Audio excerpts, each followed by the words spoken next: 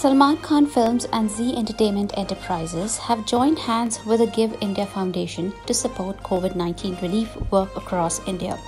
Prabhudeva directorial Radhe is opting for a hybrid release. The film will release theatrically as well as digitally, and makers are planning to donate the revenues of the film. The official handle of Zee Studios dropped a press release confirming the same. The caption read, Radhe to support India towards COVID 19 relief in collaboration with Give India. Salman Khan, along with other producers, have partnered with the donation platform to support COVID 19 relief work across the country, including the donation of essential medical equipment ranging from oxygen cylinders, concentrators, and ventilators.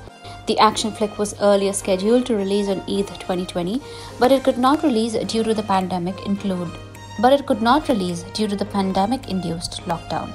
Radhe is co produced by Salman Khan, Sohail Khan, and Atul Agnihotri under the banners Salman Khan Films in association with Zee Studios, Sohail Khan Productions, and Reel Life Production.